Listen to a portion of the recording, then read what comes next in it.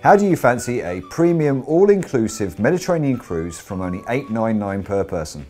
Well, now's your chance with this week's deal of the week from Planet Cruise. Now, earlier this week, Norwegian Cruise Line announced that they would be making all their ships premium all-inclusive from 6th of April this year. And to top it off, they've also announced an April sale where you can save up to £200 per stateroom.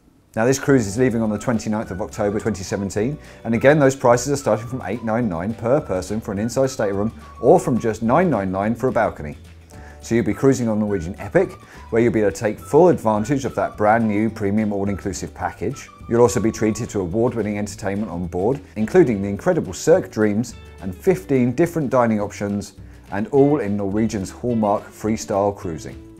Now after flying out of the UK, you'll meet the Epic in Barcelona before heading out for your first day at sea. You'll then take in the sights of Naples, Rome, Florence and Pisa, Cannes and Palma before heading back to Barcelona where you'll end your cruise. Now once again this fantastic 7-night premium all-inclusive cruise is heading out on the 29th of October 2017 on Norwegian Epic. Prices are starting from 899 per person for an inside stateroom and from only 999 for a balcony. Now this offer is only for a limited time because it's part of Norwegian's April sale, but if these dates aren't right for you, then definitely check out our website for others.